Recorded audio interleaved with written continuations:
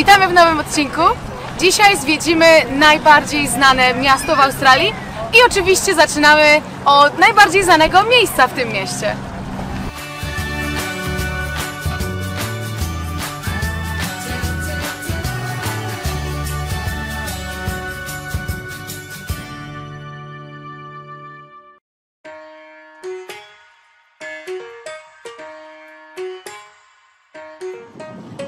Pomysł na projekt opery został wybrany poprzez konkurs i wygrał go Duńczyk, a wpadł na pomysł tego budynku obierając pomarańcze. Powierzchnia dachu pokryta jest ponad milionem ceramicznych kafelek wykonanych w Szwecji i powierzchnia dachu zajmuje ponad 1,5 hektara. Budowę opery rozpoczęto w 1956 roku. Początkowo zakładano, że będzie trwała 4 lata, ale troszkę się przeliczono, bo trwała aż 14 lat. To jednak nie wszystko. Finansowo pomylono się jeszcze bardziej. Budowa miała kosztować 7 milionów dolarów, kosztowała aż 102 miliony. Oprócz tego, że opera jest ogromną atrakcją turystyczną i ikoną miasta, działa prężnie i szacuje się, że w ciągu roku odbywa się w niej około 2000 występów.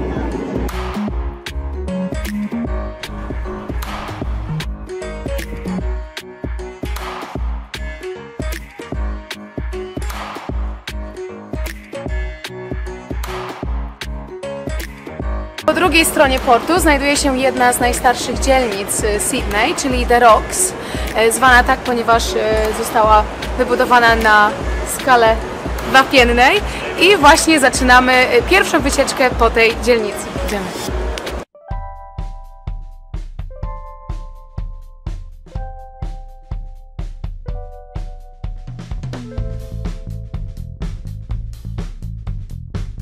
Dzielnica Dyrox była początkowo oddelegowana głównie dla skazańców, którzy byli zsyłani do Australii w celu odbycia kary.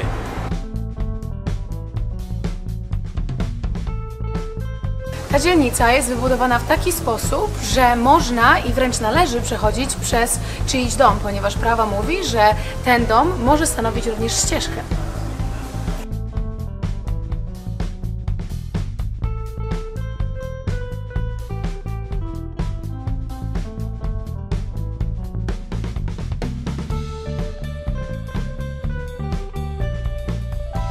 Ta wąska uliczka nazywa się kanałem sueskim. Wcześniej nazywała się po prostu ściekiem sewer z angielskiego. Zmienili na sueski, żeby lepiej e, brzmiało, a po angielsku brzmi bardzo podobnie. Tędy po prostu płynęły ścieki, które były wyrzucane z domów. O to miejsce często walczyły gangi miejscowe, e, ponieważ był to taki punkt kulminacyjny, gdzie zbierało się wiele e, ciekawych przybytków, które ściągały e, żeglarzy, którzy zawijali do portu, których gangi z kolei e, często rabowały. Ten niepozorny budynek tuż za mną e, jest jednym z najstarszych budynków w Sydney oraz jednym z najstarszych budynków w ogóle w Australii. Jest z 1816 roku, czyli nie jest za stary jak na nasze europejskie warunki. A je, był to e, budynek e, Harbour Mastera, czyli... em, Władcy portu. Władcy portu, czekaj. Czyli zarządcy portu.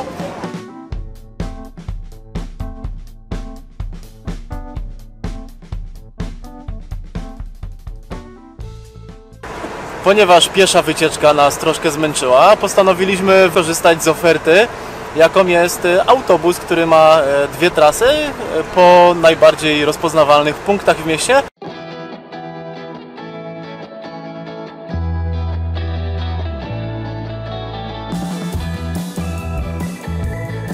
Przejechaliśmy jeszcze raz przez e, dzielnicę Dyrox i teraz będziemy jechali przez ogród botaniczny, przez e, ścisłe centrum e, i zakończymy trasę ponownie w porcie, ale w tym drugim, jak on się tam nazywa?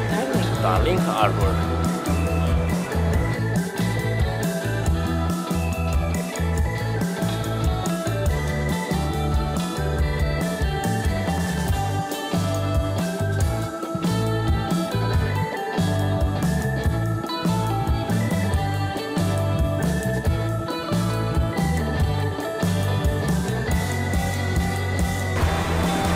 Ta reklama Coca-Coli, która wygląda jakby była e, na e, fasadzie budynku z połem, jest tak naprawdę na, na liście dziedzictwa, jest chroniona prawem.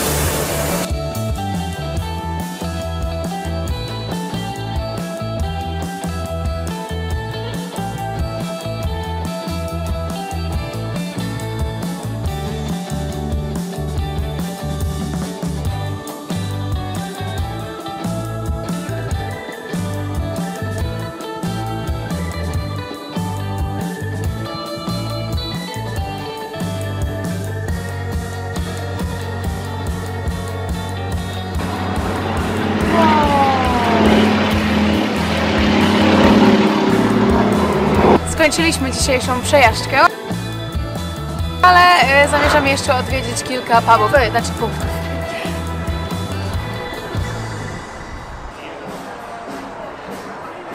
Dzień pierwszy powoli dobiega końca. Było naprawdę bardzo intensywnie, ale jutro nie mniej atrakcji.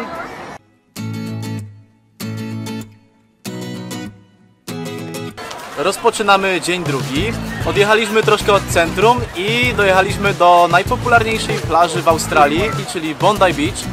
Jest to, jak widzicie, bardzo popularne miejsce wśród miejscowych i turystów. Nawet dzisiaj, kiedy pogoda nie jest zbyt plażowa, jest y, po prostu pełno ludzi.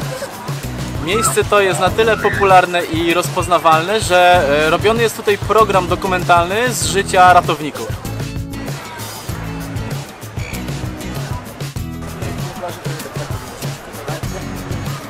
Nawet nawiązując do tego, co przed chwilą powiedziałem, widzimy e, dziewczynę z e, ekipy telewizyjnej. Wcale nie ma dużo lepszego sprzętu niż my już teraz.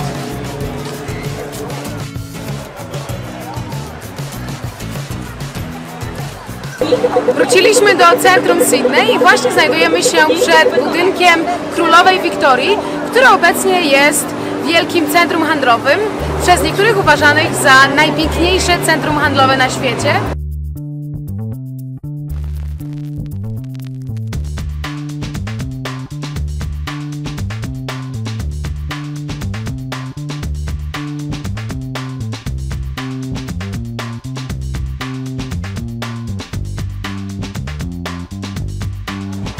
Zobaczyć panoramę całego miasta, wybraliśmy się na najwyższy budynek w mieście, czyli na Sydney Tower.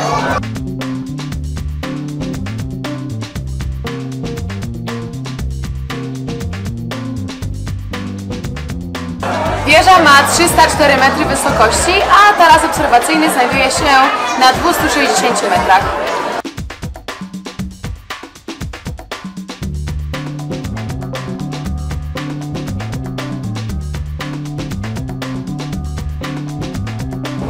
Aby spojrzeć na miasto z jeszcze innej perspektywy, wybraliśmy się na rejs widokowy po Zatoce.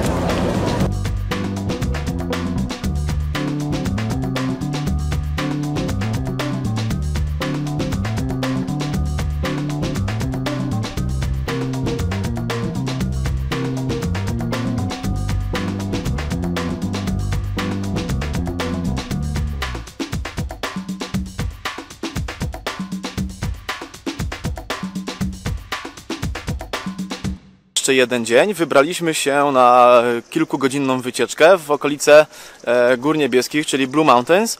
E, No ale jak e, pewnie wiecie z wiadomości, w tym okresie, kiedy tu jesteśmy, szaleją pożary. Widoczność nie jest najlepsza, mimo to spacer wzdłuż klifu robi piękne wrażenie.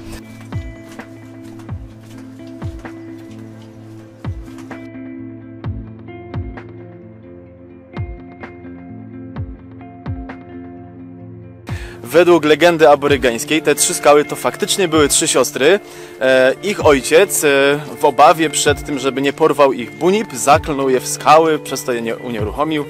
I, I dlaczego na mnie patrzysz? Bo chciałam powiedzieć, że Bunipa możecie zobaczyć w naszym y, poprzednim odcinku. Nie poprzednim, poprzednim, tylko w którym odcinku? O Adelaidzie. O Adelaidzie. Będziemy wracać do Sydney powoli, no bo przecież przed nami jutro e, długi i ciekawy dzień oraz noc, czyli Sylwester.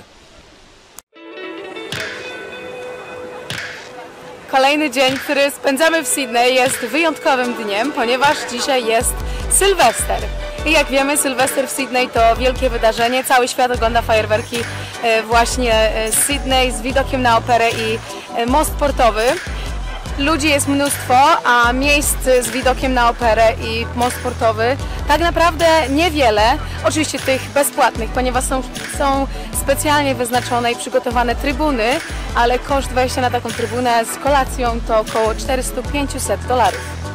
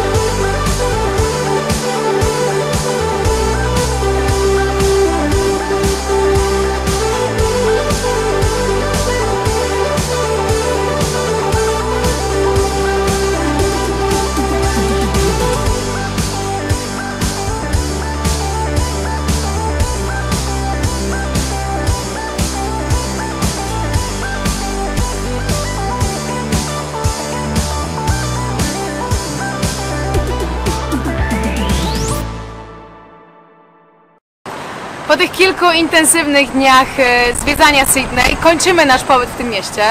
E, Zwiedza nasze zwiedzanie usprawnił nam e, Big Bus i znaleźliśmy stronę, na której zakupić można bilety na ten autobus dużo taniej niż bezpośrednio przez firmę Big Bus. Link znajdziecie w opisie i przez ten link możecie również dostać 5% e, zniżki na Big Busa i na inne atrakcje w mieście. Dziękuję za oglądanie, widzimy się następnym razem, a w następnym odcinku skupimy się na życiu plażowym i surfingu w Australii. Do zobaczenia!